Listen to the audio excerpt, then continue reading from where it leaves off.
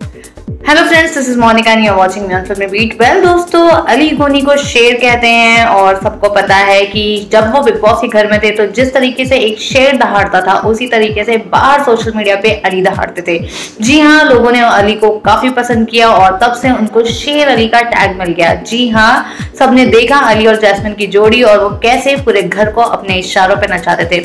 Well जब अली अब बाहर आ चुके, बिग बॉस खत्म हो चुका है, लेकिन फैंस अभी भी उन्हें शेर के नाम से ही कहीं ना कहीं संबोधित करते हैं और लोग पसंद करते हैं। और जब भी शेर का नाम लिया जाता है तो सबसे पहले लोगों के जहन में अली गोनी आते हैं। और उनके जो फैंस हैं, वो काफ़ी एक्साइटेड है अली को लेकर।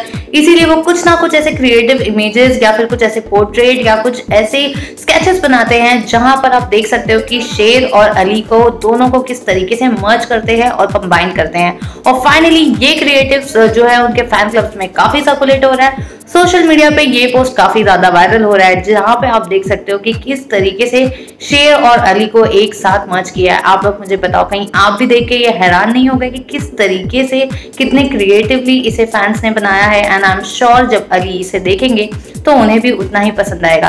तो आप लोग जल्दी से मुझे नीचे कमेंट करके बताइए कि आपने अब तक ये पोस्ट देखा या नहीं? आपको कैसा लगा अली और शेर का ये creative what you have to say जल्दी से नीचे कमेंट करके बताइए साथ में बिग बॉस और जैस्मिन अली से सारी ऐसी अपडेट्स के लिए देखते रहिए सिर्फ़ और सिर्फ़ फ़िल्म बीच